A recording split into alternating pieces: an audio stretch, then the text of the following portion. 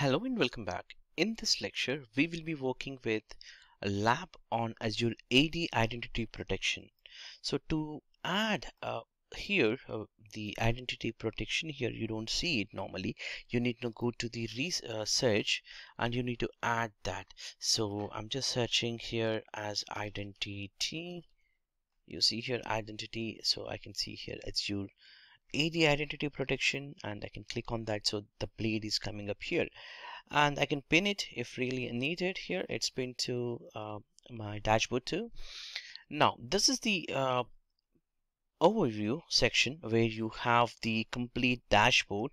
If you have already configured uh, it will be showing you here how many risky users are detected or risky configured policies and all that information including the sign-in risks and also your score on identity score. Currently it is configured uh, score is 28 out of 203 which is Microsoft recommendation. Now as we talked earlier there are two different categories where we configure. So simple. One would be the user risk other one would be the sign-in risk. The first one is the uh, user uh, risk. We will have a look on it so user risk is uh, need to be you know, configured. Uh, I'm sure that you know uh, not all the user accounts will have the Azure P2 license. Definitely so you may have to you know scope it um, for this. If you want to apply for all users that's well and good and you have that means you have the p2 license.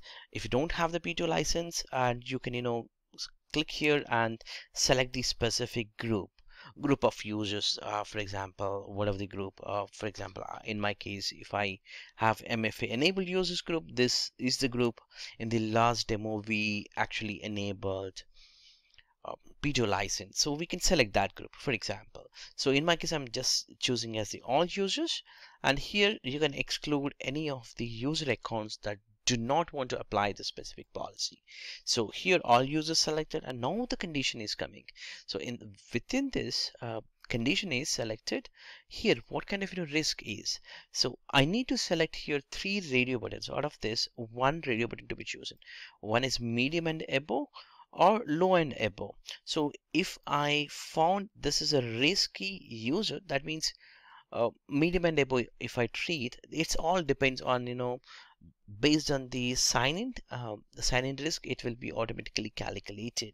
So uh, it, it was not clearly mentioned what is treated as the high and low and medium. But it's meaningful that you know if you try to start with the medium and above then it will be good. And you can select that medium and above click done. So I did configured user risk. Now it's a time for control.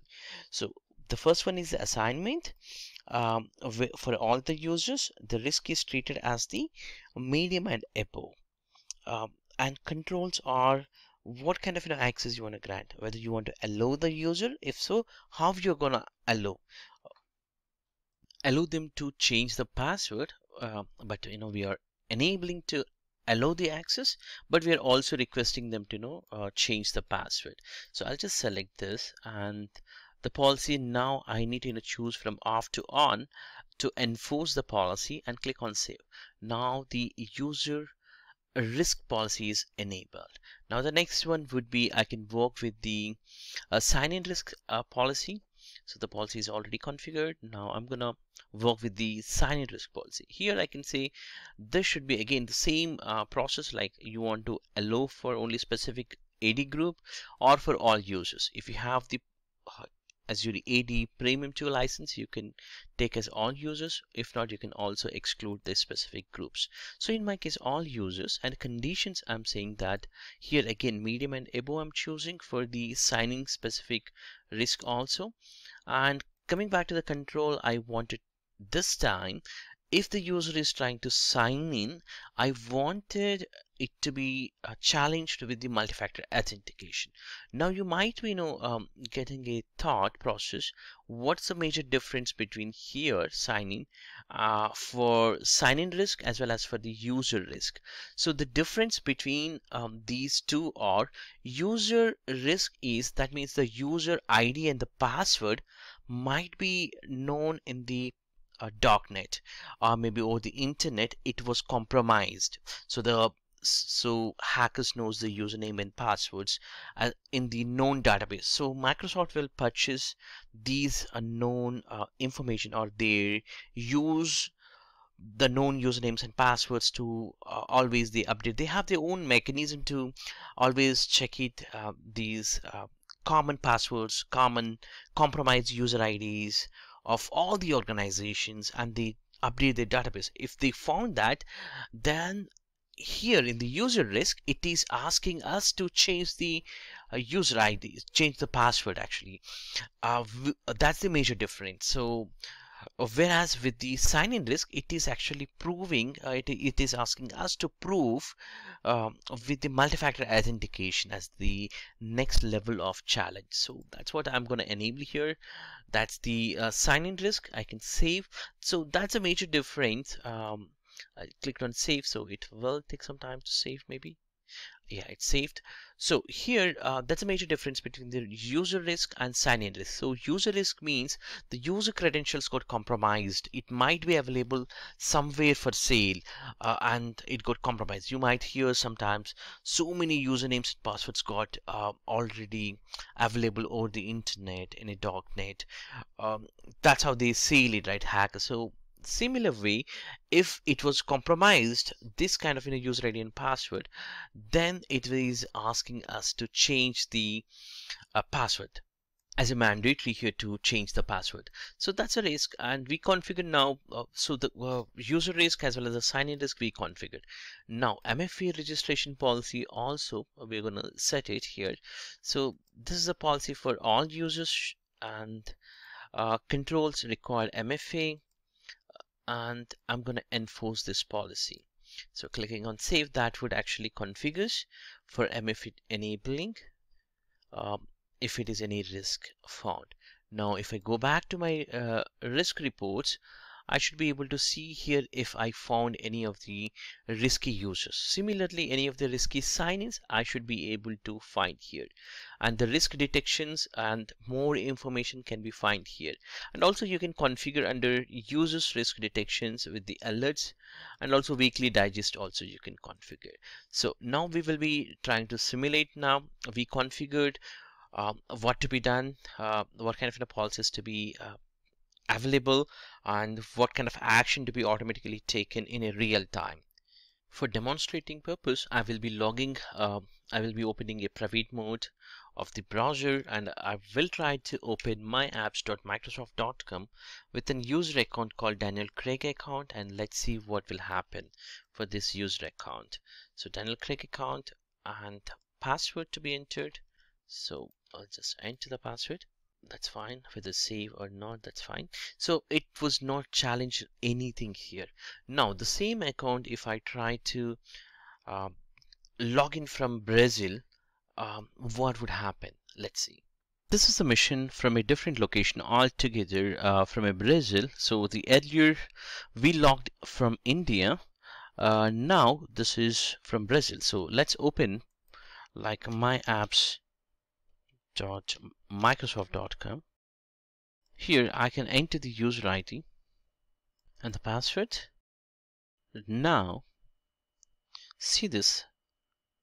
Now it is asking me to enter the multi-factor authentication where I need to enter for that specific user the multi-factor authentication ID so the code which is showing on my phone. So I entered that. I have verified and then it is allowed me to log in. If you see in the Azure portal, there's no events got logged in as a risk because it was successfully uh, validated by the end user of that challenge that was asked to prove with the multi-factor authentication and it was successful so there was nothing has been happened. And no events got generated here so far. So I can refresh and show you one more time. Uh, there are no events here as a risk now the same thing we will be trying to do with the Tor browser. Let's see that demo. I have on my Brazil machine uh, a Tor browser got installed. So as you know that Tor uh, will be a circling, so it's not going to connect from the same network. If you see here, uh, it is actually uh, coming from Canada uh, with the Tor. So that's why it is asking me to prove as a human all those so let me actually go to my apps.microsoft.com giving the same user ID learn in my lab for Daniel account and then a password. So now also we will be challenged with MFA and it says a suspicious activity detected and we have detected something unusual about the sign-in. For example, you might be signing from a new location, a device or app before you can continue we need to verify your identity. So this is altogether a suspicious activity because we're trying to log in from Tor browser uh, where it is actually circling as a circuit from different countries like Canada, Germany, Romania and then it's going to the required Microsoft site. So it is asking us to you know verify. Now we got uh, three different options. You see here approve a request on Microsoft app authenticator or use user verification code or just a text message. So if I can't do it uh, I can't proceed further. So it's a real time. So this is where you have the protection directly for the signing um, so I can say that uh, I want to prove myself as soon as I approve it in my mobile, it is actually coming up saying that, hey, you must have to update your change the password because since someone else may have access your account, you need to change uh, choose to a new password. Don't use the same password. So that's the uh, configuration which is uh, popping up. So changing the password now to sign in further and see what happens. So I'm able to see the application. So this is how it works. If, you just go to the identity protection manager uh, specific to the dashboard, you can see now uh, there is a one count was initiated under user risk.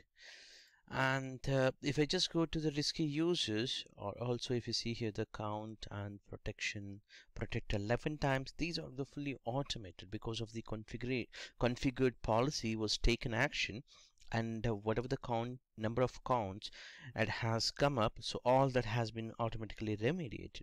So let's go to the uh, risk specific. Now this is the user risk specific. So I'll just uh, I'll just you know run here once again the policy so we said uh, if it is a risky user then require the change password.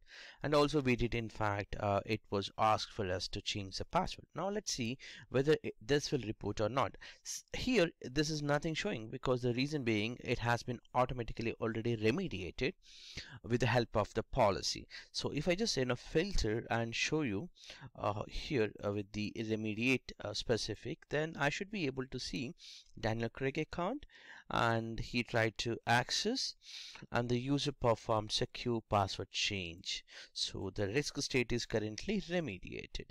So if you confirm that I mean this is complete process is fully automated and you want to take some kind of an action you can still take like confirm user compromise or um, you can uh, dismiss user risk. It all depends on the action uh, can taken from the Azure admin Let's also check from the risky sign-in uh, what happened. If you see here by default risk state is only confirmed and compromised but if you want to know uh, located the remediate uh, purpose you might see some other um, logs like you know here if I can see here the one is Daniel Craig's account uh, which is uh, coming from the Brazil location with the IP address as this and it got remediated. So these are the detailed information you can uh, check out uh, from the risky users as well as the risky sign-in. If you want this information automatically to get an email, you can actually uh, look at here and configure the required email ID. So in my case, I can configure here as the email IDs which are configured so that the user will get automatically all the required um, high specific risk only it is coming. If I want, this should come for low and medium.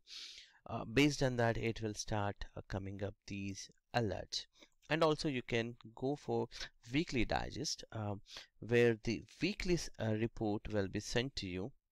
So here you can include the required email IDs so in our case we have already configured uh, these two which are um, in fact it's by default um, for the access specific to this it was already included.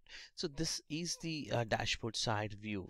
Since I have very less data to show you I would like to show you more data from my other uh, tenant active directory so that you know you know how it looks like.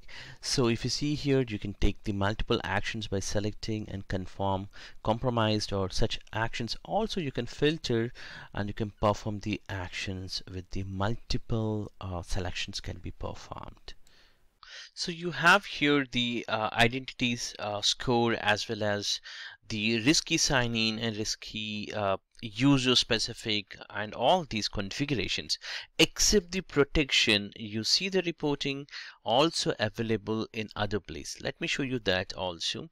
If you go to Azure Active Directory under security uh, if I just go to security. And then this is where we used to configure even conditional access right?